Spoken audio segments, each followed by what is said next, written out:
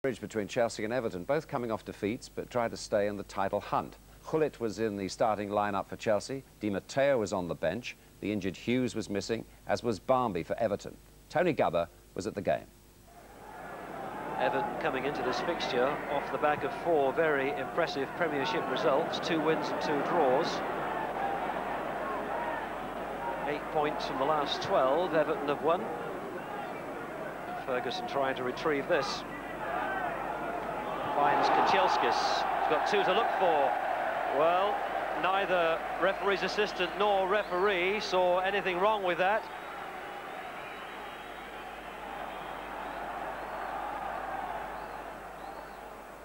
Will Barrett may get dispossessed, and he has. Here's Dennis Wise.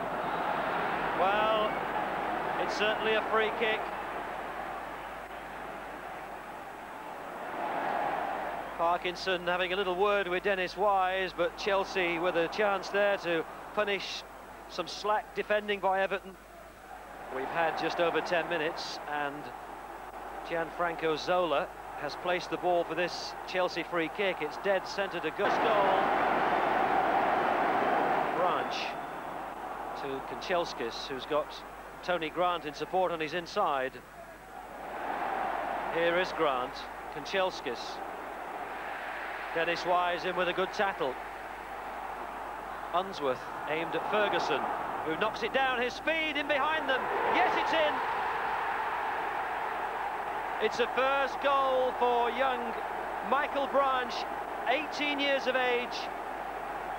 It was Ferguson who won the ball in the air and knocked it down, initially aimed at Gary Speed, but it was the teenager Michael Branch, the England under-21 international, who stole in to score his first goal at senior level and make it 1-1. And we've not yet had 18 minutes. It's got a long way away from Petrescu, but Chelsea have it back with Eddie Newton. Ruud Gullit. Oh, it's good play by Gullit, although Unsworth tried to pull him back. Well, Vialli went down on the edge of the penalty area, and I think a free kick has been given. It has. Can the Italian do it for a second time? Oh, that time he didn't quite get it over the wall. Somebody able to get tall enough to knock it over for the corner.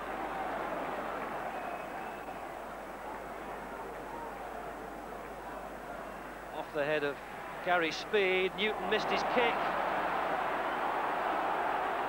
It's Michael Duberry who couldn't quite keep his feet. Neat back heel though by Vialli. Gullit!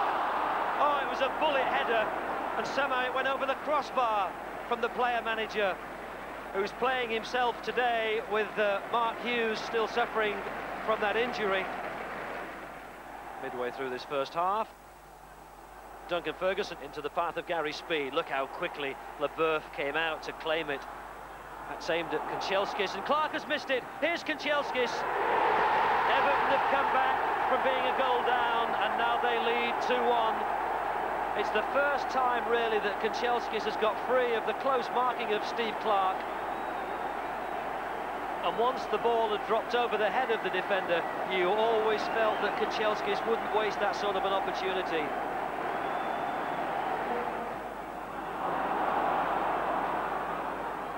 Earl Barrett.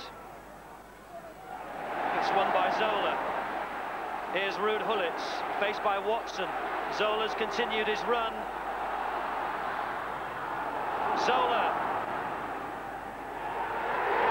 Vialli! The two Italians combine for a splendid Chelsea goal. A goal made in Italy, delivered at Stamford Bridge. The pass back to Zola was measured. The little Italian did well to keep control and keep his balance. And Vialli with the header for his eighth of the season. And it's two apiece. Here's Stuart. Duberry had covered that danger and gets warm applause for his trouble. No offside this time. Here's Burley. Southall's on the floor. Here's Zola. The goal's empty.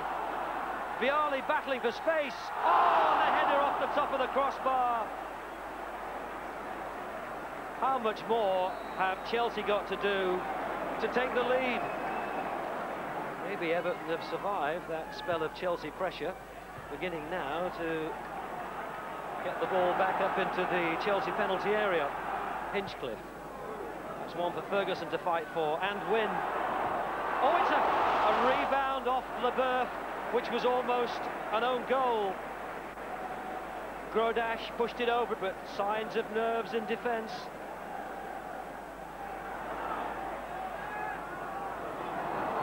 Header out, but only as far as Wise. Here's Eddie Newton. Still time for a final shake of the dice. Straight into the arms of Southall, off the head of Petrescu.